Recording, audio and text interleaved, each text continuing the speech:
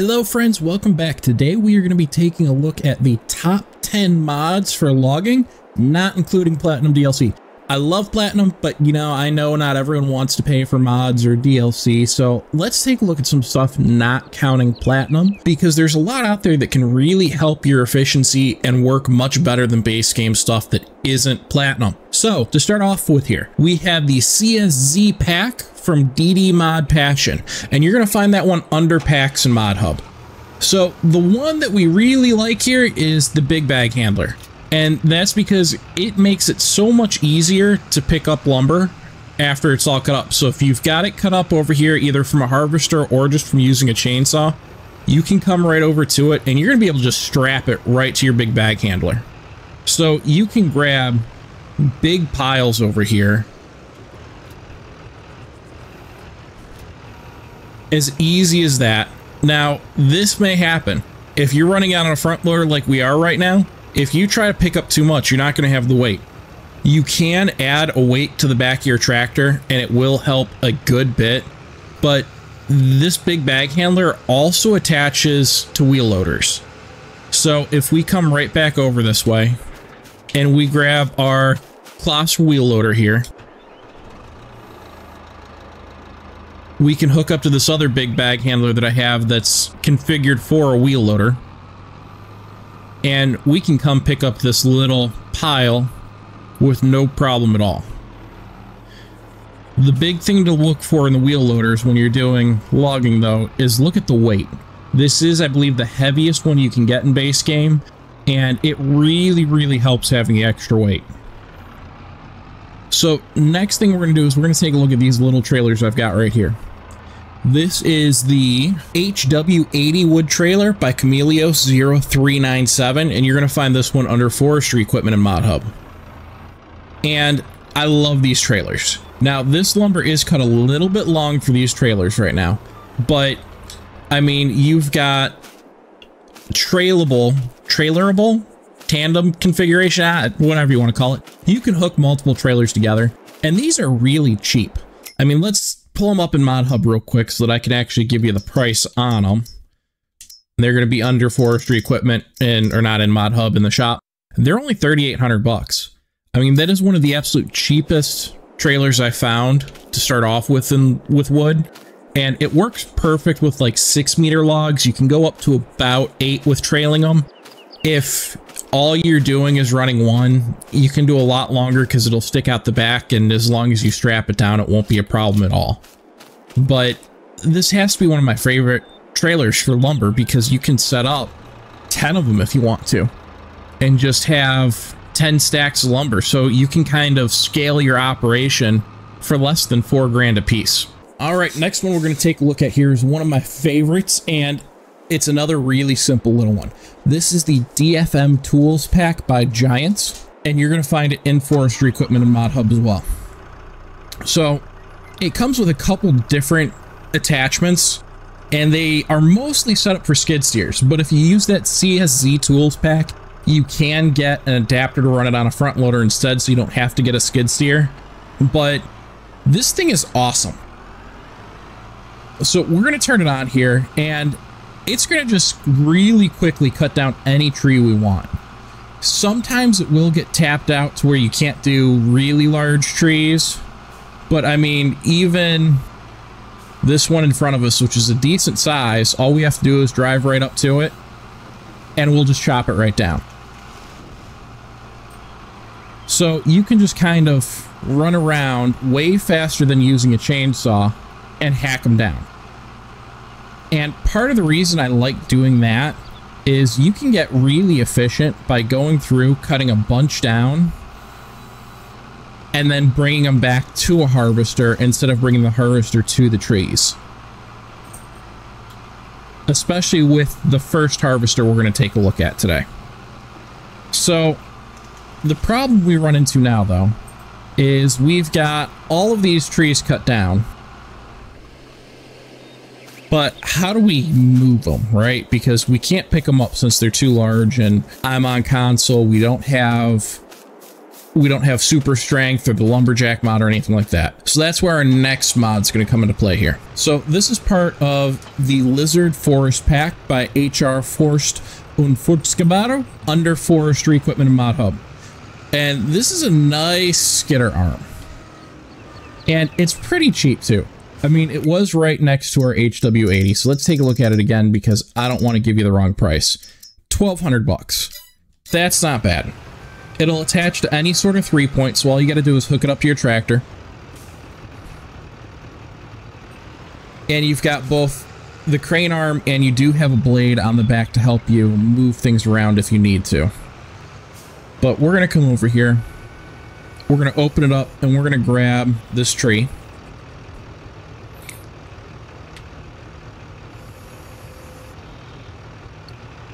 And we're just going to drive right back towards our right back towards our harvester here. So you do get a little bit of side-to-side -side wiggle, which really helps. Unfortunately, you can't intentionally change your direction on the claw. I would love it if you could, but even without it, I mean, you can kind of swing this over and bring it around so that you can drop it kind of where you want to. That's definitely not perfect, but I mean, that's not bad. And that works really easy to be able to just skid something over. Now on to our little harvester here. This is the Ponsse 3-point wood harvester by Kenny456. You're going to find it in Mod Hub under forestry. And to be honest, I absolutely love this tiny little harvester. The only downside is you do have to have the legs out when you use it, which means you can't drive around. So you can go tree to tree and do it, but you're going to have to just keep folding and unfolding it, which I, it's not ideal. So what I tend to do is I'll do it just like we've got it set up here, and I'll bring a cut tree over to it. And we're just going to try and grab this one that I laid on top here. There we go. Swing it around so that we'll line everything up correctly.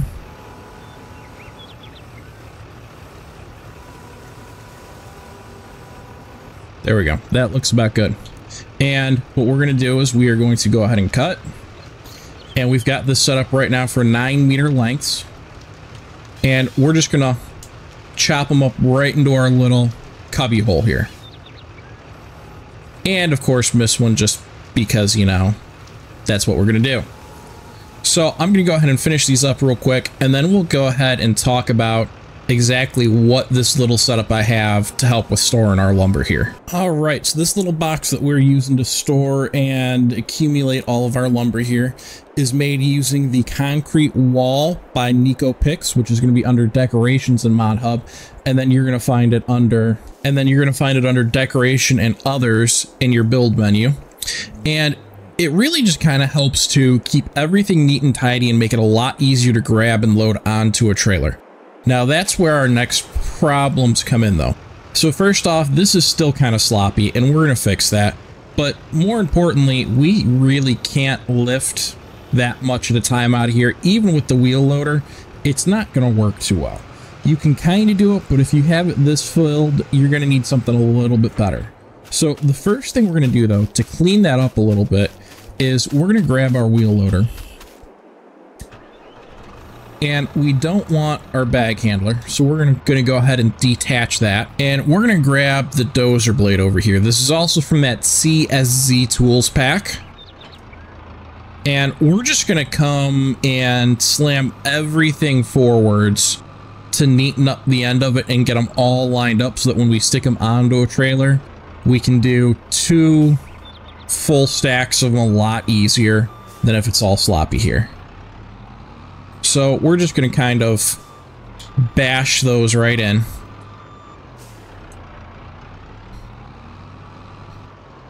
And straighten everything out a little. And we're probably not going to get it perfect because, I mean, we're starting to push up over the other end a little.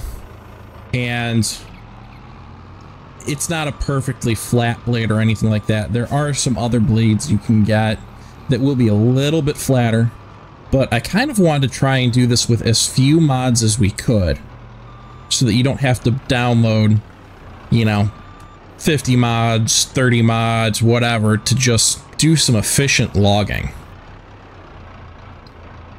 All right.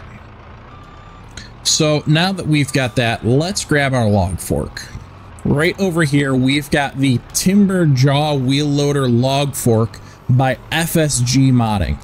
You're going to find it under wheel loaders or under forestry equipment in Mod Hub. And then in-game, you'll find it under forestry equipment. Now, this thing is massive compared to your standard log fork in base game or anything in the CSZ Tools pack, but it's going to work the exact same way. It just gives you a much, much larger opening so that you can get a very very good sized grab to pull up and load.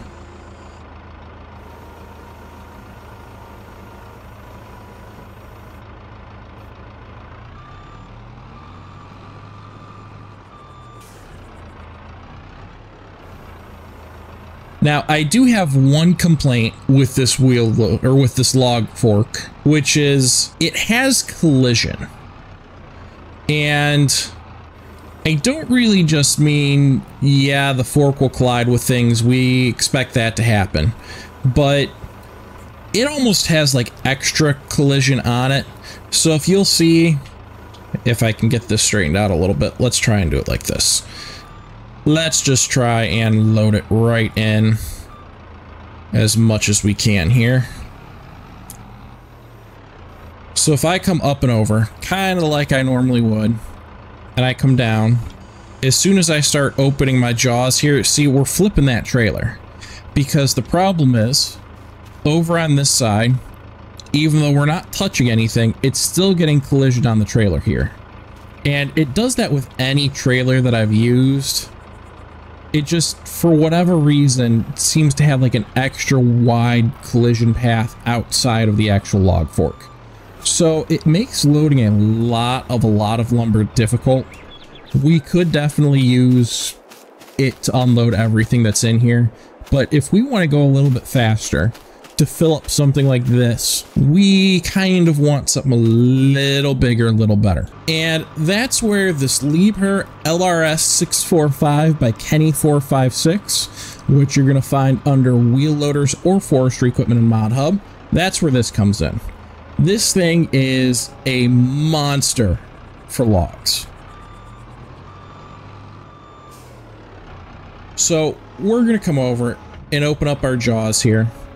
And not only does it open and go up and down, but it does extend out as well.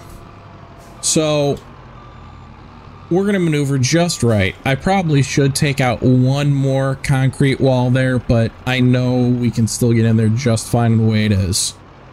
We're going to come over and drop down right on top of it. And flip our entire thing over. There we go. We're going to come down. We're going to grab that whole bundle. There we go. And now that we sorted the controls out again, we've got that giant bundle of lumber all piled up we're going to bring it in a little bit closer and we're going to drop it down just to take a little bit of the weight off here. And I may have actually grabbed too much to be able to drive. We're kind of moving. All right. So what we're going to do, since apparently it cannot lift quite this much weight too easily on this ground, back up just a little bit extend this out a little bit and we're going to lift it a little bit again. And we're going to do something that we would never want to do in real life. We're going to run underneath of it just to grab these small logs and kind of toss them out of the way here. All right, so even though we can't really move around with it too much because the amount of weight, we're just going to bring our trailer over to it. And this trailer is fantastic. This is the Fliegl Timber Runner by HR Forst und under Forestry Equipment and Mod Hub. And the really special thing about this, I'll show you in one second once we get this loaded. There we go. We've got a massively, massively overloaded trailer, right? Which means normally driving around something like this, especially if we did have a second load on there, is going to make this trailer really, really tippy and make it really easy to flip this entire load. But the really neat thing is right over here, we've got a nice little meter here, and that actually changes where our center of balance is. So if we hit our left bumper and then use our right stick up and down, we are actually going to be able to add to lower our center of balance. And you're going to do that up until the point where you see the entire trailer starting to shift like this. And then you're going to back it off a little bit. And now we've actually lowered where our center of gravity is. And you're not going to be able to tip this thing. I mean, you can try as hard as you want, and it's just about impossible to tip this. So if you're running a really fast truck on the front of it, you don't have to worry about flipping it, getting stuck, having to bring more equipment down to untip it, things like that. You can almost kind of start to, but you can see we're tipping the actual truck and then the trailer's kind of evening us back out on it. So, I mean, I I love this, especially for console.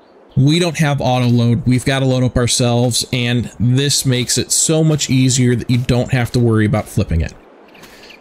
Now, if we're running all this other big equipment, we've got this massive wheel loader, we've got our harvester here to try and process down quick over here, we've got a massive trailer to load up, we're probably going to want more than that little skidder that we have. So we're going to take a look at a little bit bigger of a skidder. This is the John Deere 948L-2 by North Modding Company, and you're going to find it in Mod Hub under forestry equipment.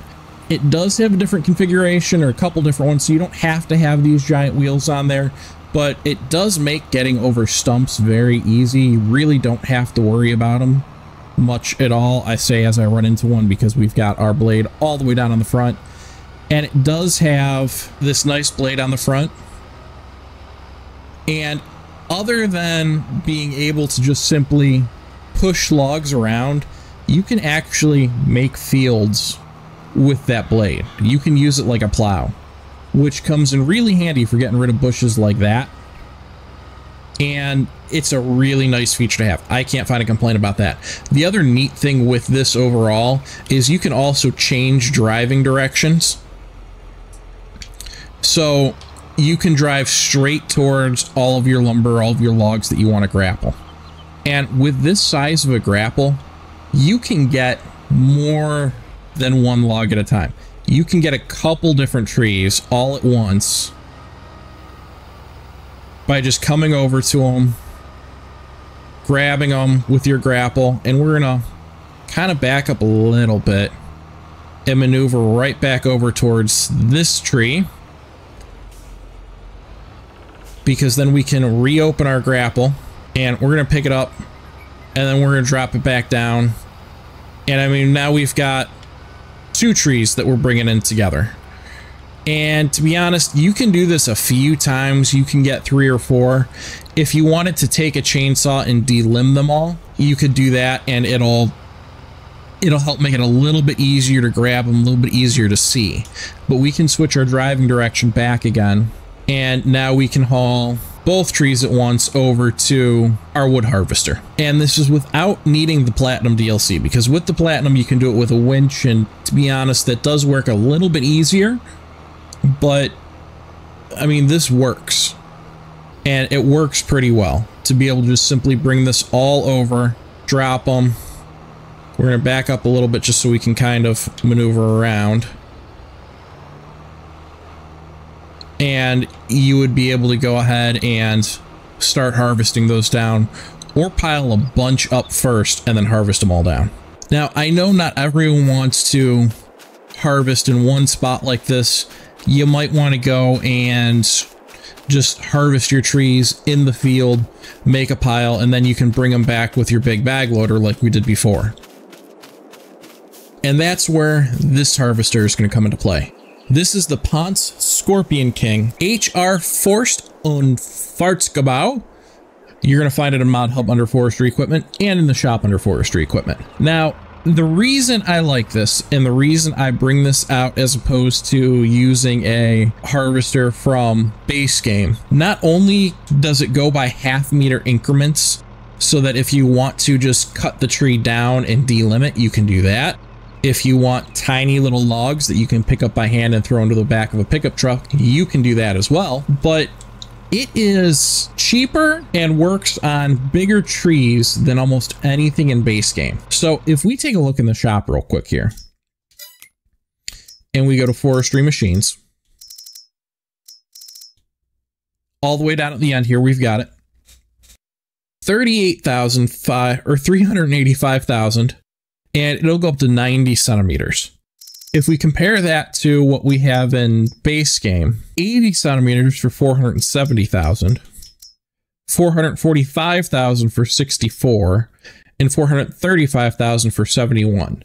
So it'll work on any lumber you come across other than maybe redwoods and platinum edition. And it's cheaper. And it's not so unrealistically cheaper or anything, but I mean, it's it's a little bit cheaper, a little bit easier to get right off the bat or to lease because the lease pricing is going to be cheaper too. And it still works just as efficiently as everything else does. As long as you line it up correctly and don't just start playing around with it like I am now. There we go. So we can still cut everything down, bring it over, and cut it up into smaller lumber segments. The other nice thing with this is if you hit your right bumper, you can go into toggle steering modes. And it's not like our fast track that we've been using as our tractor where you've got crab steering, because I mean, it is articulated. You, you don't really need to worry about crab steering, but it's got bogie lift, meaning you can set it up so that you've got a couple wheels off the ground. So if you are running into stumps and getting stuck, or if you have a very, very large sloped side that you're working on, you can pick that front side up and help get around things that you normally couldn't. You can also lift up the back or front and back.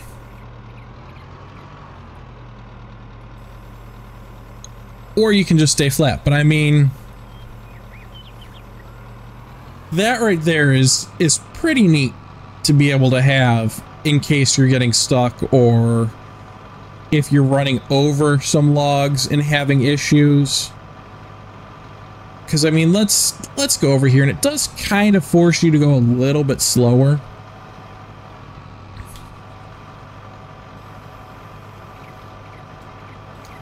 But if we come over and start driving right over these trees,